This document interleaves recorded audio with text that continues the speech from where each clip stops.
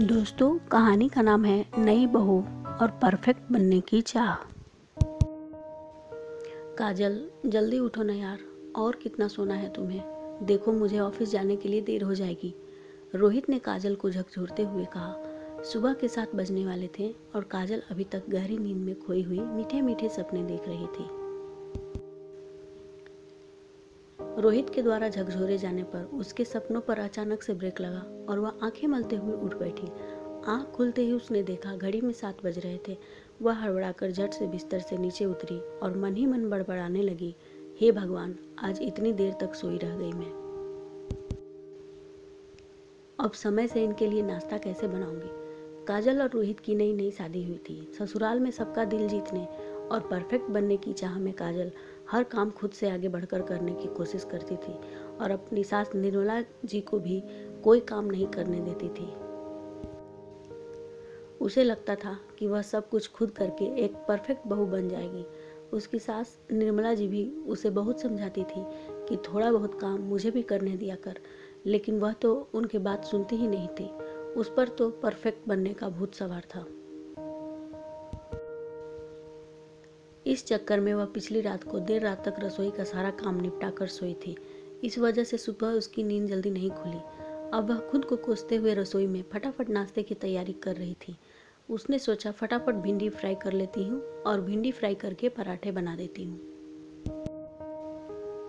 उसने फटाफट भिंडी काट कर कढ़ाई में छौंक लगा दिया। उसे पता था कि भिंडी को धीमी आग पर पकाने से वह अच्छी तरह से फ्राई होता है, लेकिन उसने सोचा कि भिंडी में ज़रा सा पानी डाल देती हूँ तो भिंडी जल्दी गल जाएगी।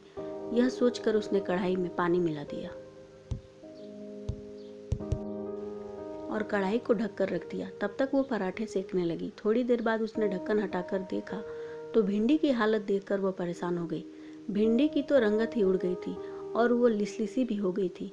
जरा सा चलाने पर वो भिंडी टूट कर बिखर गई और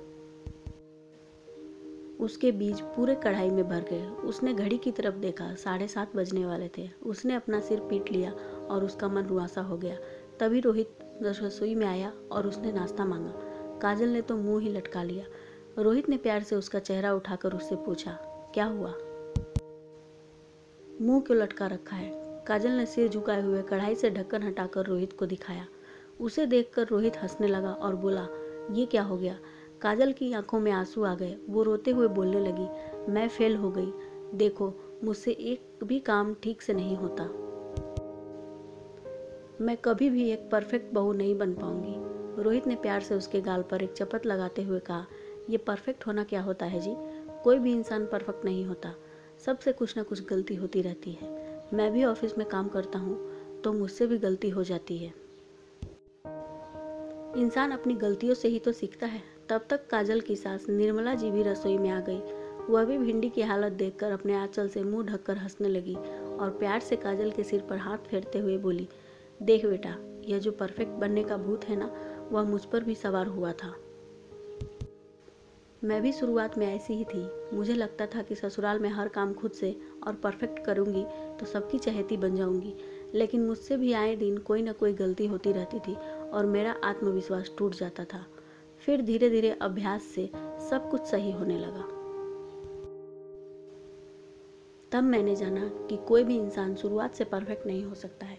हम कोई भी काम सीखते सीखते ही सीखते हैं और परफेक्ट बनने का इतना दबाव लेंगे ना तो जीना मुश्किल हो जाएगा।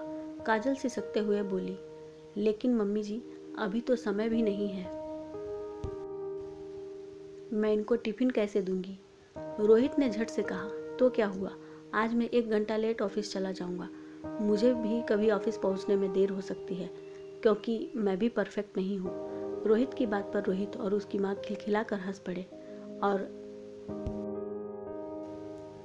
काजल के चेहरे पर भी मुस्कान फैल गई। आज काजल समझ गई थी कि कोई भी परफेक्ट नहीं होता और परफेक्ट बनने की चाह में तनाव लेकर हमें खुद के मानसिक और शारीरिक स्वास्थ्य को नज़रअंदाज नहीं करना चाहिए।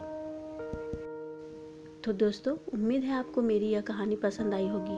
और भी नई कहानियों के लिए इस चैनल को तुरंत सब्सक्राइब करें और बेल आइकन को ज़रूर प्रेस करें, जिससे मेरी हर नई कहानी आप तक बिना किसी रुकावट के तुरंत पहुँच सके। धन्यवाद।